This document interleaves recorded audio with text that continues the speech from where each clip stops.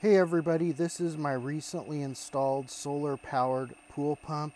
It is uh, pumping the water through the pool filter completely free by six solar panels. It's costing me nothing to run this pump. So the question is, how much will this pump save me? By the way, the link where I found this pump is in the description. So how much will this save me?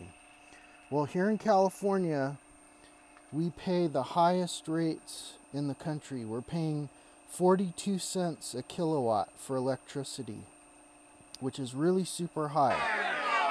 So over here on this sheet, you're going to see my old AC motor. How much did that cost me to run it? Well, that motor at 42 cents a kilowatt, the motor consumes 2.2 kilowatts of electricity per hour. So that works out to 92 cents per hour that it cost me to run the pump. At 92 cents per hour, we run the pump for 8 hours. Costs $7.39 per day to run the pump.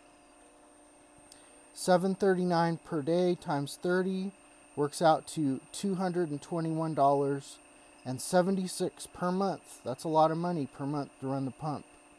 And you multiply that by 12 months, I'm going to save $2,661.12 in one year with this pump.